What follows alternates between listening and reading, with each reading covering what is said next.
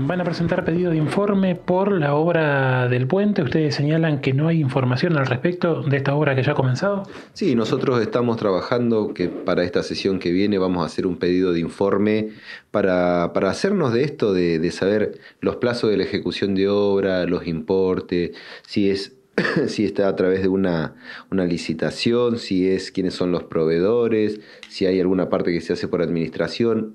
Y esto tiene que ver más que nada para después saber que no nos pase como nos pasó varias veces con la rotonda, que se tuvo que hacer tres o cuatro veces, no sabíamos si se cubría las garantías, no se cubría.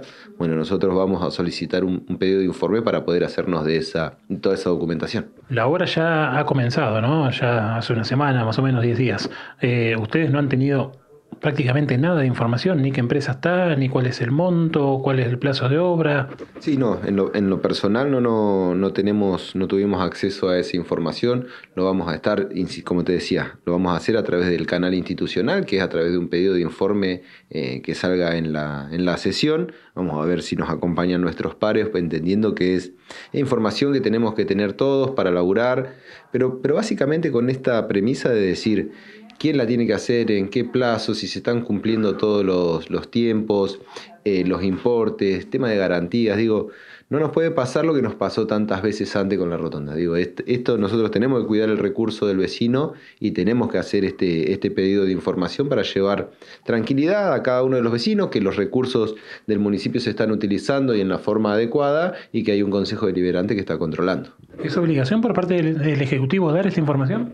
No, digo, tiene la, la, obligación de la transparencia en la publicación de los actos de gobierno a través de boletín y demás. En términos estrictamente del Consejo Deliberante no nos tienen que acercar el, el, expediente, por decirlo de alguna forma, pero sí yo creo que todo acto de, transparencia, de aportar claridad, eh, no solamente para el Consejo Deliberante, que es el órgano de control político, sino para toda la comunidad, es como un volver a, mancomunar esta, a la sociedad con la dirigencia política, que se vean que se hacen las cosas bien, de forma clara, transparente, digo, y es un gran aporte para todos. Entonces, entendemos que si hay dudas en la comunidad de una obra que es necesaria, que es importante, que es, es fundamental para la transitabilidad de nuestro puente.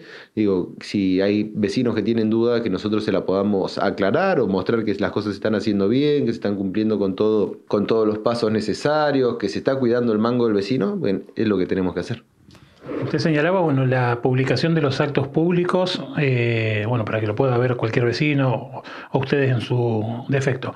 En lo que respecta a esta hora, ¿lo vieron publicado en algún lado? Todavía, todavía no estamos en, plazos de los vencimientos que tiene que sacar el boletín oficial. Es probable y entendemos que van a salir, pero digo, ante la inquietud de la sociedad tendría que ser mucho más rápido. Estamos trabajando en un proyecto también que tiene que ver con la velocidad del boletín oficial, un proyecto que presentamos ya para la sesión anterior, que tiene estado parlamentario, que ya lo hemos discutido en la comisión anterior.